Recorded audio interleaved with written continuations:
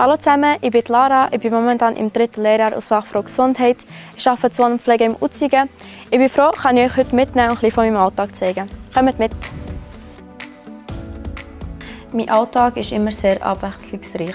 Manchmal kommen Notfallsituationen dazu, manchmal bisschen medizinisch unterwegs, manchmal bisschen Betreuung.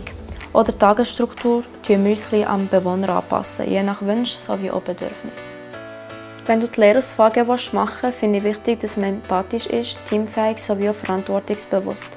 Besonders wichtig finde ich, dass man die Bewohner und Gesundheit im Zentrum sieht, dass man mit Liebe arbeiten kann. Wir Lernenden werden im Betrieb sehr gut unterstützt, indem wir Lernzeit haben, wo wir unsere Sachen erledigen können. Lernwerkstatt, dort werden verschiedene Themen besprochen.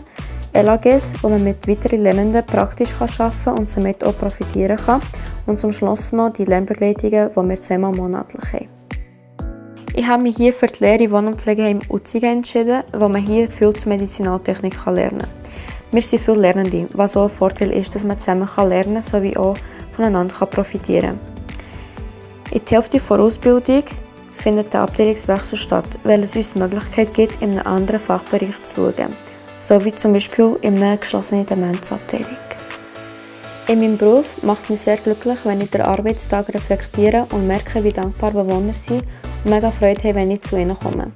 Mir macht es auch sehr stolz, dass ich den Bewohnern einen guten und angenehmen Gesundheitszustand ermöglichen kann. Ich hoffe, du hast einen guten Einblick in meinen Alltag in meinem Beruf mit den spannenden Kompetenzen.